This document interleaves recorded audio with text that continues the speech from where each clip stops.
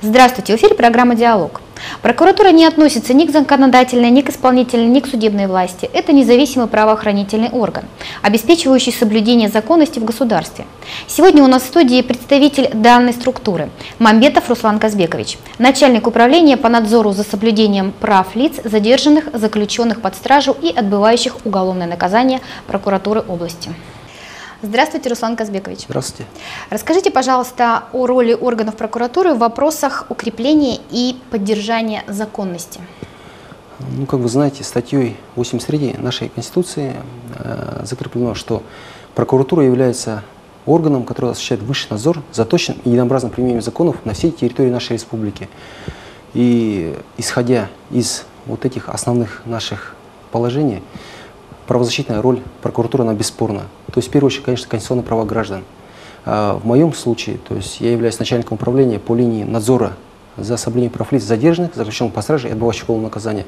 Это конституционные права задержанных лиц, да, органам уголовного преследования, лица уже, которые отбывают наказание, лица, которые стоят на учете службы пробации, лица, которые условно досрочно освободились и находятся на учете органов внутренних дел, да.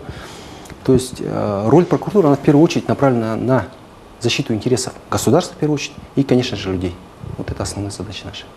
А какими вопросами надзорной деятельности занимается непосредственно ваше управление? Ну, как я уже, э, предвосхищая ваш вопрос, уже э, отметил, наша задача именно соблюдение вот конституционных прав лиц, которые содержатся э, в местах лишения свободы, которые отбывают иные виды наказания, не связанные с лишением свободы, к примеру, на учете службы пробации да, состоят. У нас в связи с гуманизацией уголовного законодательства, в связи с проводимой политикой, у нас численность тюремного населения уменьшается в разы. Да? Если мы на заре нашей независимости находились, входили в тройку э, государств с тюремным, численностью тюремного населения на 100 тысяч, да? э, в настоящее время мы занимаем, если не ошибаюсь, уже 57 место. То есть мы амбициозную задачу, которую поставил перед нами глава государства, а Генеральная прокуратура, то есть из 50 стран с наиболее высоким индексом тюремного населения мы вышли уже. В настоящее время эта работа проводится и в нашей области в том числе. Если сравнивать э, предыдущие годы, вот 13, 14, 15 год, то есть количество людей на несколько сотен уже упало.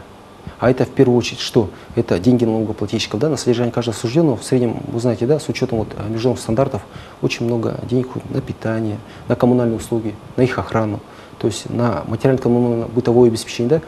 То есть все это, конечно, в первую очередь, оно позволяет э, экономить бюджетные средства, позволяет э, людям, которые содержатся там, понять, что они не потеряны для общества, то есть государство от них не отказалось, что социальных связях не утрачены. Есть семья, есть родные и близкие. Он выйдет, э, у него, если все нормально будет, будет вести себя правильно, то после определенного срока, который он находится, допустим, на учете органов внутренних дел, да, как ранее судимый или лицо, ранее до освободившееся, он им будет иметь возможность жить полной, полноценной жизнью, как и до этого. То есть уже сделав просто определенные какие-то выводы, да, и уже набравшись опыта, э, вперед будет дерзать. А деятельность государственных органов сегодня строится в соответствии с задачами по реализации 100 шагов плана нации. А какие ориентиры определены для органов прокуратуры? Деятельность прокурора области именно по данному направлению, это в первую очередь, конечно, 33 шаг плана нации, э, именно ресоциализация бывших заключенных. То есть не секрет, численность тюремного населения снижается, да? Должен логически, получается, больше людей вышло, больше э, повышается риск совершения ими рецидивных преступлений. То есть, если освободилось, допустим, тысяча человек, а тут освободилось две тысячи, соответственно, риск в два раза уже больше, да? И наша задача не допустить роста рецидивной преступности. Э, максимально в этом ключе нам помогают местные исполнительные органы, органы внутренних дел, служба пробации. Э, если вы помните, в феврале э, текущего года ваш канал также освещал событие, был проведен малый форум.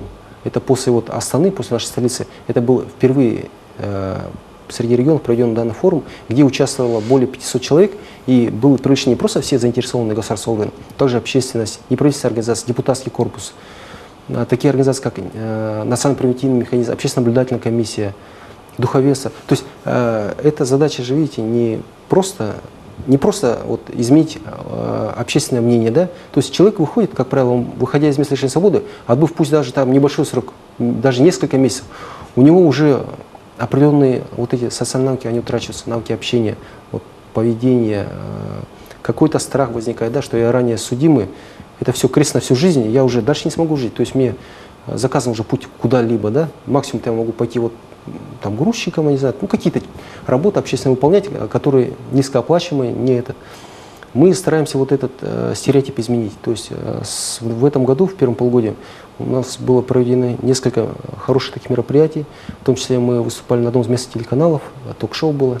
Мы приглашали туда бывших осужденных, которые и работодатели, которые дали им работу, они им поверили. То есть они, будучи в местах лишения свободы, они знали этих людей, а, то есть производство у нас в местах лишения свободы также организовано, и он тебя зарекомендовал там, он выходит, этот работодатель, почему мне на волю ему не дать шанс? Пожалуйста, я, допустим, его знаю, а, пусть он работает, э, все хорошо.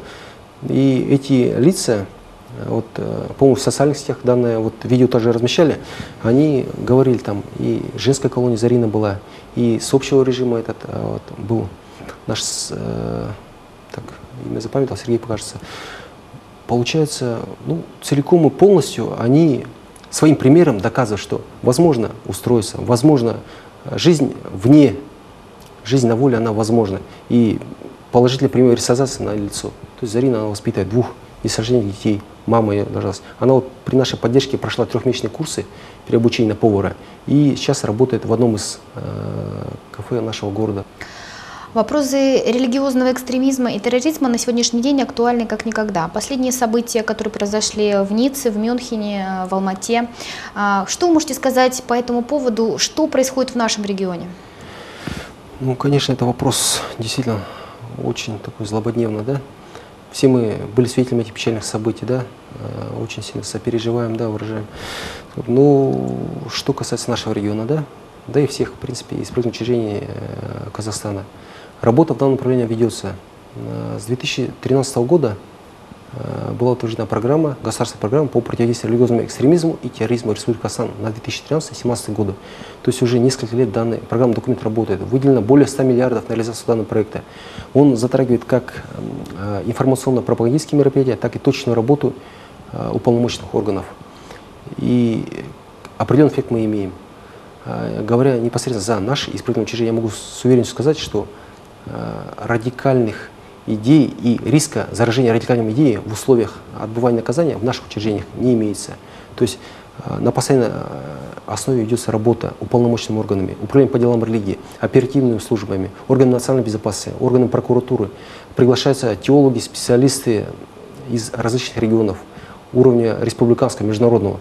И в ходе бесед, встреч с ними, при Э, проведение определенных каких-то лекций, бесед, просмотре э, телепередач, э, специального видео, осужденный имеет возможность убедиться в разрушительности радикальных идей. То есть они понимают, если даже кто-то и был осужден за преступление, связанное с экстремизмом, терроризмом, это, как правило, люди, которые имели только вот первоначальные основы знания в религии, будь то ислам, будь то христианство, будь то иная религия. Да? Соответственно, они находят ответы на те вопросы, которые ранее они просто не могли, не могли знать. А здесь уже в условиях изоляции, в условиях проводимой информационной работы с ними, информационной работы, они понимают, что заблуждались. И это раскаяние, оно искреннее. В 2013 году часть осужденных, три осужденных э, нашего колонии общего режима в поселке Заречье, они снялись в этом фильме, да, который э, транслировался по республиканским телеканалам «Прозрение души». И они искренне выражали опасения, раскаяние и заботу о подрастающем поколении и своих сограждан, которые могут стать также жертвами религиозных экстремистов. И этот фильм, он имел такой довольно-таки, можно сказать, мультипликативный эффект имел. А, многие после этого СМИ, многие граждане, они задумались, этот фильм, он имеется и как в специальных органах, уполномоченных органов, так и имеется и в учреждениях образования.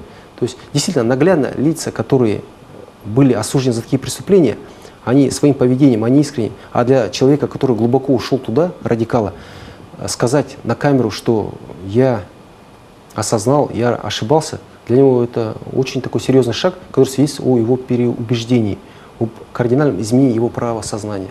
Скажите, пожалуйста, а кем и какая работа проводится, чтобы не было проявлений радикального экстремизма?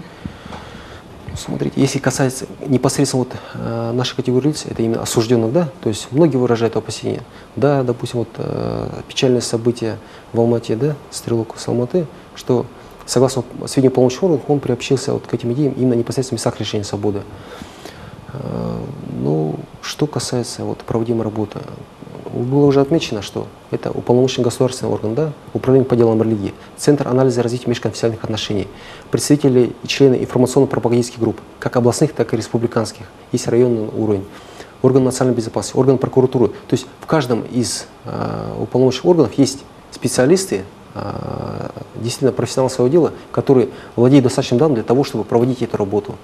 И, как я уже сказал, встречи проводятся регулярно, на постоянной основе. Представители официального духовенства утвержден график, и те осужденные, у которых есть духовная потребность высказаться, опять задать вопрос, почему, что я, где я ошибся, где я свернул не туда, у них есть эта возможность. Есть э, люди, которые могут дать им ответы на эти вопросы. И, соответственно, вся вот эта работа, она должна в 2017 году, как было определено своим индикатором данной государственной программы, сформировать, что у людей на воле, что у людей в всякой свободы, именно сознание, не прививающее идеи радикальной э, религиозного экстремизма и терроризма. И я полагаю, что в нашем регионе мы успешно справляемся с этой задачей. Вопросы материально-бытового обслуживания осужденных всегда актуальны. А что изменилось э, на сегодняшний день? Ну, как я уже отметил в самом начале нашей встречи, государством уделяется очень большое внимание, выделяются значительные финансовые средства для того, чтобы привести э, все наши вот эти нормативные акты, все условия содержания осужденных в соответствии с международными стандартами. И в настоящее время осужденные, они ничем не обделены. Необходимое э, питание, оно очень, очень хорошее питание, действительно очень калорийное, разнообразное. Вот, к примеру, если в 2012-2011 году были жалобы, даже делал анализ по жалобам осужденных, которые поступают в уполномоченные органы, там было, что мне что-то не додают, э, мне по, допустим, в связи с моим заболеванием или что, мне необходимо такие-такие-то витамины или такое-такое-то питание. В настоящее время, я вот с начала года не помню ни одной такой жалобы, чтобы э, осужденный жаловался именно на питание. Что касается материально-вещевого удовольствия, то есть то, что государство обязано дать, оно дает куртку, штаны, ботинки, зимние, летние вещи, вплоть до нижнего белья. То есть осужденные максимально обеспеченные. Э, отдельные какие-то нарушения, если выявляются в данном э, направлении нами, то это в первую очередь связано, что вот все наши исправительные учреждения, они строились э, давным-давно, да, то есть порядка начиная еще с 40-х, 50-х годов. И поэтому те новые стандарты, которые в настоящее время есть, эти здания уже типовые. Их то есть э, очень тяжело изменить. Но все, что возможно, мы приводим в соответствие. Где-то меняем полы, где-то какие-то новое оборудование устанавливаем, э, там, санузлы, все прочее. То есть максимальная работа в данном направлении ведется. И она идется ежедневно. Поэтому выявляем, устраняем, на ошибках учимся, так скажем. Гуманизация уголовного законодательства сказалась на численности тюремного населения в стране. А какая ситуация в нашей области? Ну, за последние 4-5 лет у нас на несколько сотен человек снизилась э, численность тюремного населения. И это благодаря как проводимой государственной политике по снижению тюремной численности населения посредством применения гуманных актов, это замена неудобной части наказания более мягкими наказаниями. То есть в прошлом году очень э, многие там, средства массовой информации, да и сами осужденные удивлялись, что возможно выйти на свободу, уплатив штраф. То есть, но законодательство позволяет. То есть, если раньше заменяли только на ограничение свободы, в настоящее время есть возможность оплатить установленным законодательством размер штрафа и выйти. Но опять же, для этого необходимо вести себя хорошо, не иметь никаких там злостных э, взысканий и все прочее. То есть полностью государство дает возможность выйти. И кроме того, лица э, в настоящее время карательная практика также только за тяжкие, особо тяжкие люди э, уходят места лишения свободы. Стараются максимально применять наказание, не связанное с лишением свободы. И поэтому количество людей, которые стоят на учете службы пробации, оно возрастает в разы. Э, но а также их права необходимо соблюдать, защищать. Вот в рамках 33-го шага плана нации в этом году, в первом полугодии, после нашего вмешательства 23 лицам была выплачена сумма более 400 тысяч тенге. Это социальное пособие, которое им положено по закону. То есть отдельные, скажем, должностные лица, не владея э, действующим законодательством, возможно, они давали неверное разъяснение, то есть отказывали в выплате определенных пособий. хотя они были положены. После вмешательства все эти лица получили, и в настоящее время лица, которые находятся на учете службы пробации, лица, которые освобождаются с места лишения свободы, они имеют право на единовременное пособие. Это закреплено правилом оказания социальной помощи. При предоставлении необходимого пакета документов, а также соответствие определенным условиям, то есть э, там э, доход ниже должен прожиточного минимума, он имеет право на получение вот этого единовременного пособия. Такое пособие можно получить в любом районе и областном центре. Трудозанятость осужденных на сегодняшний день – это актуальный вопрос, да? А насколько это утверждение применимо к нашим колониям? Трудозанятость осужденных, оно является еще очередным проектом, вторым проектом Генеральной прокуратуры, который уже реализуется второй год. Э, мы в настоящее время максимально активизировали эту работу. В наших колониях работает порядка 15 индивидуальных предпринимателей, а также два юридических лица. А, какие виды работ? То есть, начиная с сувенирная продукция, мебельное производство, производство вот, э, брусчатки даже, да, которую наш центр нашего города, это тоже, опять же, из места лишения свободы. Наши осужденные делают.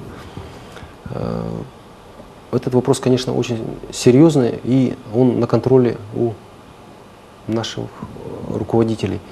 Соответственно, осознавая важность э, воспитательного процесса, а также э, значимость именно трудового перевоспитания осужденных. То есть мы должны дать осужденным трудиться, и при этом трудиться не бесплатно, а именно оплачивать. То есть они должны гасить ущерб, да, иски, там подчас, подчас они миллионные иски, где-то счет идет даже на миллиарды, то есть у мошенников.